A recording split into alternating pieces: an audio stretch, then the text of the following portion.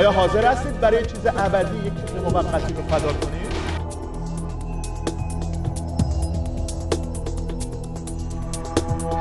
خدا ما رو دعوت کرده خدا ما رو فرا خوانده.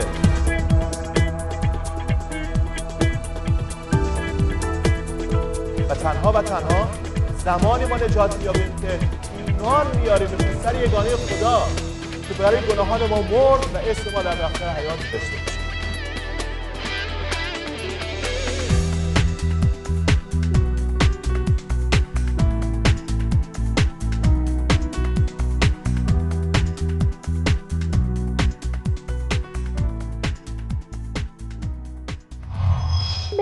پیدایش باب یک.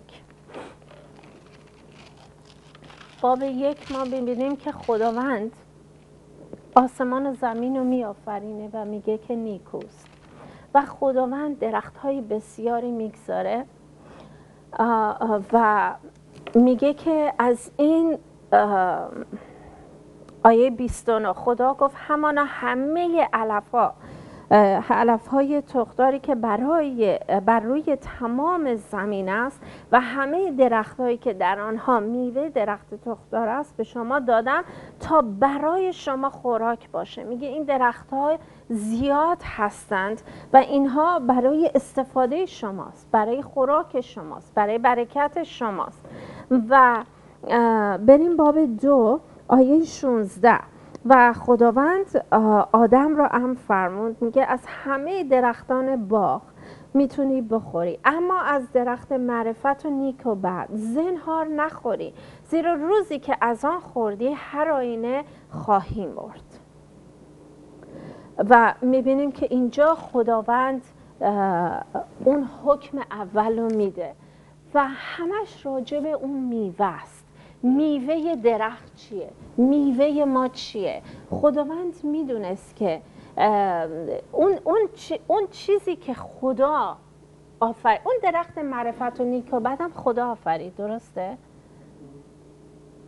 خدا آفرید و خدا چیز بدی نمی آفرینه خدا همون درخت معرفت و نیک و بد و آفرید. وسط باغ گذاشت. گفت از همش بخور. اینم من آفریدم و بد نیست. ولی من میگم تو از این نخوری. چون من نمی‌خوام تو معرفتش رو داشته باشی. من دارم.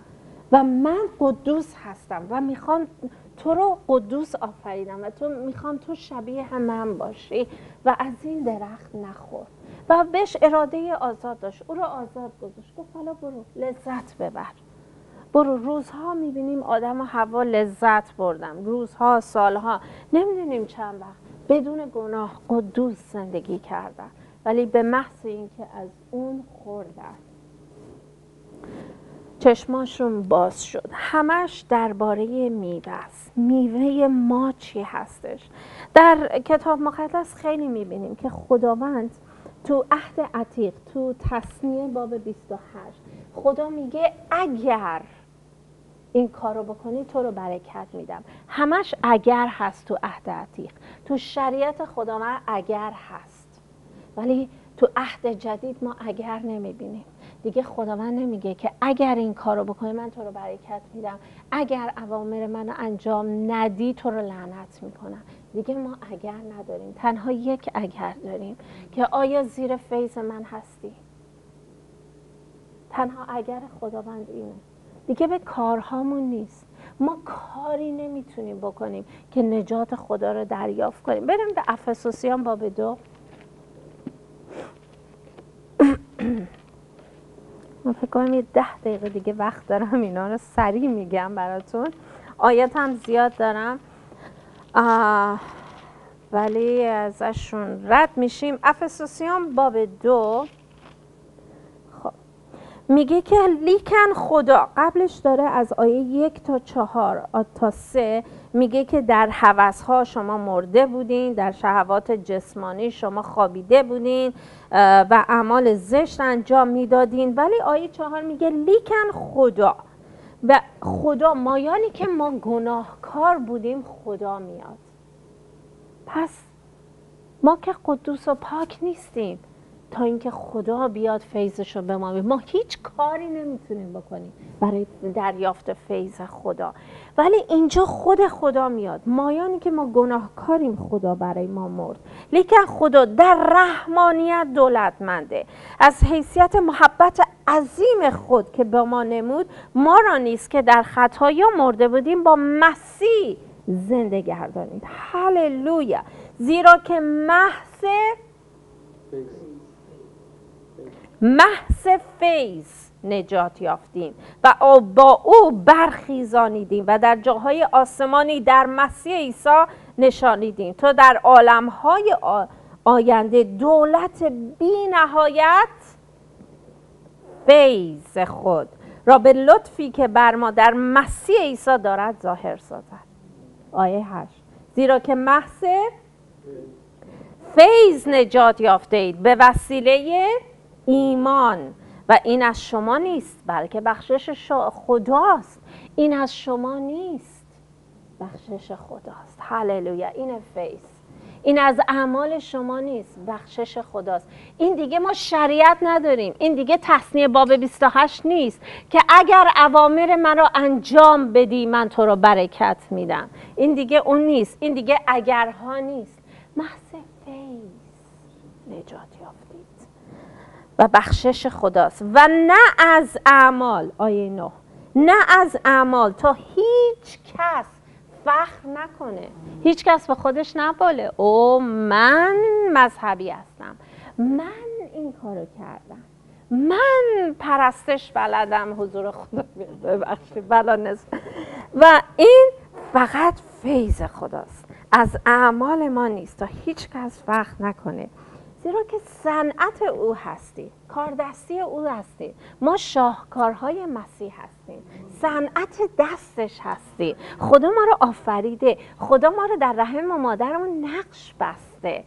و لذت می‌بره وقتی ما رو می‌بینه. صنعت او هستیم. آفریده شده. در مسیح عیسی برای کارهای نیکو. پس هیچ بهانه نه. حالا نمی‌تونیم بگیم که من کاری نمی‌تونم انجام بدم. نه ما برای کارهای نیکو آفریده شدیم. حالا که نجات یافتیم حالا که بحث فیض بخشیده شدیم حالا باید اعمال نیکو رو به جا آوریم و یعقوب میگه که ایمان بدون عمل مرده.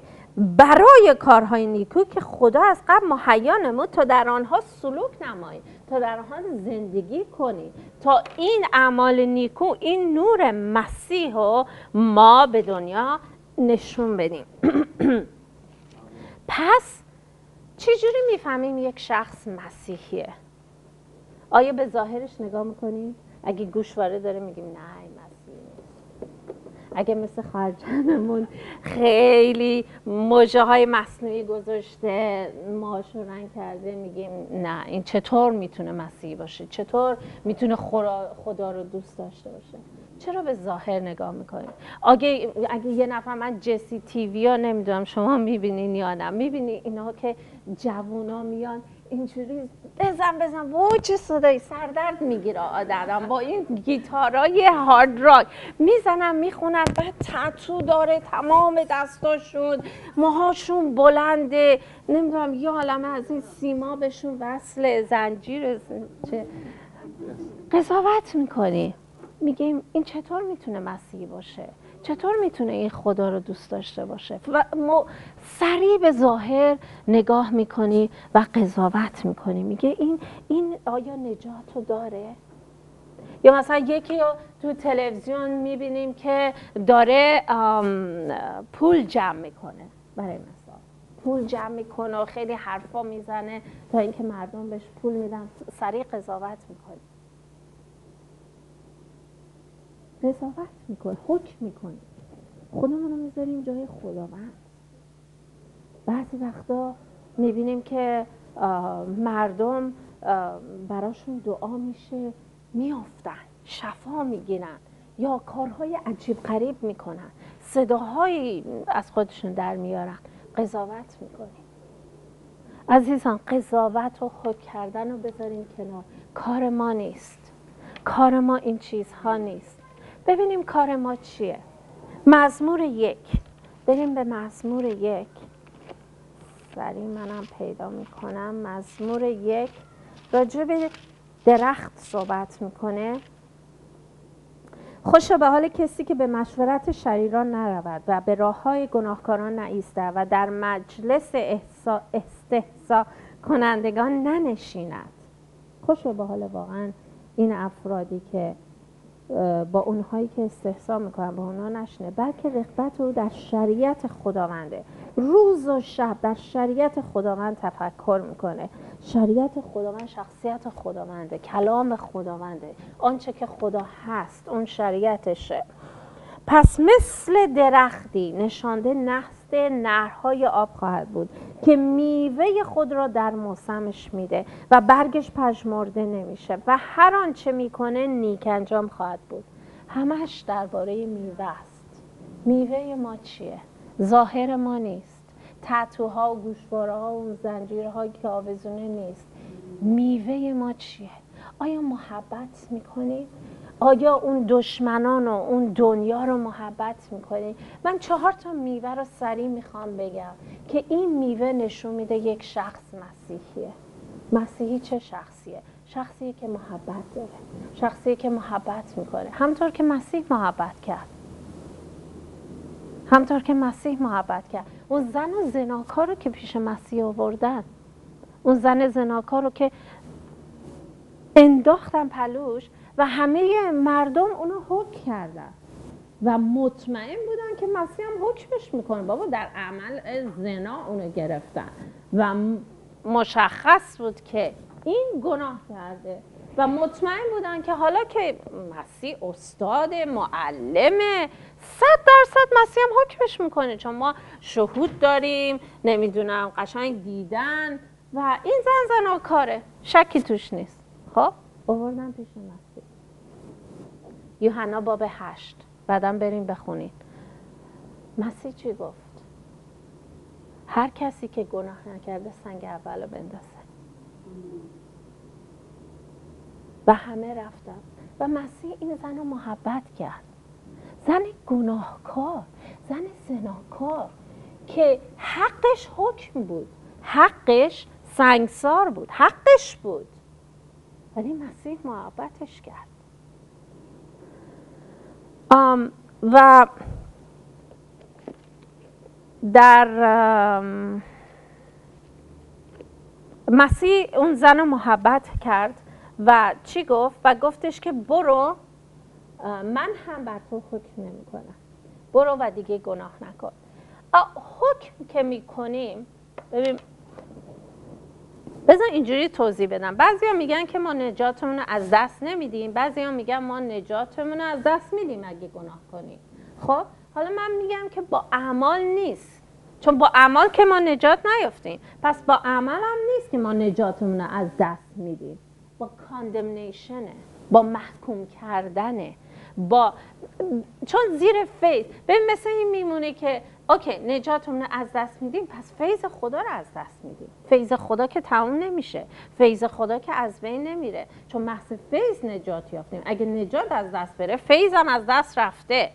می‌دونی؟ ولی وقتی خودمون رو محکوم می‌کنیم وقتی ملزمیم وقتی گلت داریم وجدانمون ناراحته اون اون اون نجات ما رو می‌خوره. اونه که ما رو در عذاب و شیطان این چقدر دوره از شما.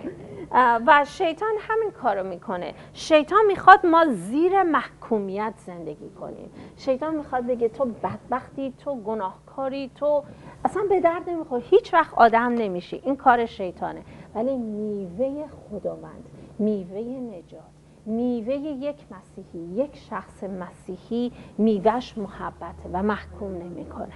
محکوم نمی‌کنه. چه زن زناکار باشه چه هر گناهی باشه ما نباید محکوم کنیم.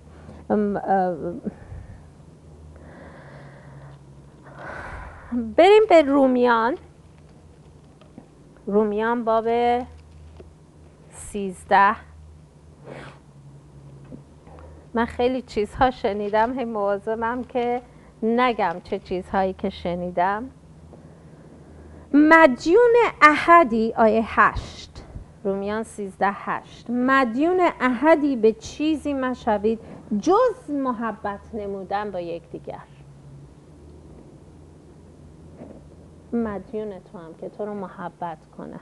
مدیونتم زیرا کسی که دیگری را محبت نماید شریعت رو به جا آورده زیرا که زنا مکن قتل مکن دزدی مکن شهادت دروغ مده طمع مورز و هر حکم دیگری که هست همه شامل است در این کلام که همسایه خود را چون خودت محبت کن. محبت به همسایه خود بدی نمی کند پس محبت تکمیل شریعته. ما وقتی محبت می‌کنیم احکام خدا رو به جا میاریم و در یوحنا باب 17 میگه که از محبت شما می‌فهمن که شاگردان ما هستید از محبتتون می‌فهمن. میوه دومی که یک مسیحی داره پرستش. ما وقتی مسیح رو دوست داریم عاشق خداوند هستیم پرستش می‌کنیم. پرستش مثل اون بریم به لوقا باب هفت. یه نمونه از پرستش بهتون. پرستش شکگذاری نیست. شکگذاری قسمتی از پرستشه ولی پرستش شکگذاری نیست. ما می‌تونیم خدا رو برای خیلی چیزا شک کنیم ولی شاید پرستشش نمی کنیم پرستش عشق ورزیدن به خداست. یعنی انقدر از محبت پری که داری مسیح و محبت می‌کنی اون موقع میشه پرستش. تو پرستش ما عوض میشیم. لوقا باب هفت می‌بینیم که یک زن اومده داره عیسی مسیح رو پرستش می‌کنه. باب, باب هفت آیه سی و شیش می‌بینیم که مسیح میره به خونه یک فرسی دعوتش می‌کنه که غذا بخوره. میره اونجا آیه 37 که ناگاه زنی که در آن شهر گناهکار بود چون شنید که در خانه فریسی به غذا نشسته است مسیح شیشه عطر از عطر آورده در پشت سر او نزد پاهایش گریان به ایستاد و شروع کرد به شستن پاهای او به اشک خود و خشکانیدن آنها به موی سر خود و پاهای وی را بوسیده آنها را به عطر تدهین کرد. پس می‌بینیم این زن گناهکار. به محضی که فهمید عیسی تو شهره. عیسی اومده خونه این فلانی این فریسی داره مهمونی اونجا داره غذا می‌خوره. سریع اومد و و این شیشه عطر رو اوورد و ریخ به پای مسیح و شروع کرد. پاهای مسیح شستن و با موهاش پاهای مسیح خوش کرد. این پرستش پرستش کرد عیسی مسیح خداوند و می‌بینیم فریسی گفتش که آه این شخص اگه نبی میمود می‌دونست که این چه گونه زنیه که داره او رو اینجوری لمس می‌کنه. چون که گناهکاره. عیسی مسیح فکر اونا رو فهمید و گفتش که هر کی که بیشتر بخشیده بشه بیشتر متشکره و بیشتر خوشحاله. پس به سوی آن زن اشاره نمود و آیه چهل و چهار میگه این زن را نمی‌بینی؟ به خانه تو اومدم آب به جهت پاهای من ندادی. ولی این زن پاهای مرا با اشکا شست با موهای سر خودش خوش کرد. مرا نبوسیدی. این زن از وقتی که داخل شدن از بوسیدن پاهای من باز نیستاد. سر مرا به روغم مس نکردی. ولی این زن از با این عطرش مرا تدهین کرد. از این جهت به تو می‌گویم گناهان او که بسیار است آمرزیده شد زیرا که محبت بسیار نموده. این زن عیسی مسیح رو پرستش کرد عیسی مسیح محبت کرد. از این جهت می‌شناسیم که این مسیحی واقعیه این تولد تازه داره. شاید ظاهرش خیلی بد بود. شاید ظاهر این زن یک ظاهر خیلی گناهکار و قیافه خیلی بدی داشت. ولی مسیح به ظاهر نگاه نکرد. مسیح به قلبش نگاه کرد. و گفتش که این بخشیده شده. این منو پرستش کرد. هللویا. ایمانت تو رو نجات داده. به سلامتی برو. به اون زن میگه. پس میوه دوم پرستشه. ما وقتی پرستش می‌کنی تو اعمال میگه میگه که یک زمانی میشه همه مسیح رو پرستش می‌کنن چون می‌فهمن که او خداست. میگه هر زبانی اعتراف می‌کنه که او خداست. هر زانویی در برابر این خدا خم میشه او رو پرستش می‌کنه. ولی خوشا به حال ما که الان او را پرستش می‌کنیم. پرستش واقعی. محبتش می‌کنیم. برای آنچه که او هست. برای اینکه عظیم مقدسه. هللویا. میوه سوم شادیه. یک مسیح واقعی شاده. در هر شرایطی در هر زمانی. این شادی و ما زیاد آیات زیادی دارم. وقت نیست بخونم. ولی تو فیلیپیان فیلیپیان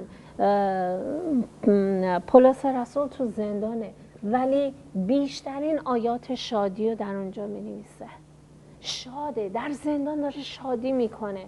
چون مسیح خودش رو شناخته. عزیزان کسی که مسیحه کسی که تولد تازه داره محبت می‌کنه پرستش می‌کنه شاده. و چهارمین میوه اینه که ایمان داره. ایمان داره. به چیزی که نمی‌بینه ایمان داره. به اون آینده ای که مسیح براش در نظر داره ایمان داره. اون امید پرجلال ایمان داره. هللویا. که مسیح برمیگرده. با مسیح ملاقات می‌کنه. تو ابدالآباد در آغوش مسیحه پس عزیزان قضاوت نکنیم. دفعه دیگه که رفتیم تو فیسبوک دیدیم یکی داره مشروب می‌خوره. سریع قضاوتش نکنیم. دفعه دیگه که یه چیزی دیدیم تو تلویزیون یا دیدیم که یه نفر داره با یک بی ایمانی صحبت می‌کنه قضاوتش نکنیم. بذاریم که میوه راستی در ما به وجود بیاد. بذاریم که عیسی مسیح ما را از حضورش از وجودش پر کنه. و وقتی مردم دنیا وقتی اونهایی که مسیحی نیستن وقتی این, این میوه ها رو می‌بینن وقتی مسیح گفت از میوه هاش رو می‌شناسی وقتی یه نفر گناهکار میاد محبت تو رو می‌بینه چرا ایمان نیاره؟ وقتی این میوه های محبت پرستش شادی رو می‌بینه میوه ایمان رو می‌بینه میوه این که ما همیشه مثبتیم دو هر شرایطی قر نمی‌زنیم شکایت نمی کنیم گله نمی کنیم همیشه شادیم. چرا یک یک یک غیر مسیح یک شخصی که تولد تازه نده چرا ایمان نیاره؟ وقتی این چیزهای عالیه در ما می‌بینه وقتی این میوه رو می‌بینه هاللویا. چرا؟ خدا رو شکر برای عیسی مسیح. هنوز هنوز نمی‌دونم اگه شما این احساس می‌کنید که روح خدا داره ماها رو محبت می‌کنه. هنوز این محبت خدا در بین ما قفی هستش که خداوند داره محبت می‌کنه. آیات هستش ولی وقت من تموم شد. می‌خوام سرامون رو خم کنیم دعا کنیم. خدا رو شکر برای این موعظه و از کلام خدا شنیدیم. پس اگر موضوعی هست درخواست دعایی هست حتما با ما تماس بگیرید. ایمیل کنید تلفن بزنید. پایین صفحتون هستش و ما جواب میدیم و برای تک تک شما عزیزان دعا می‌کنیم. خدا برکتتون بده.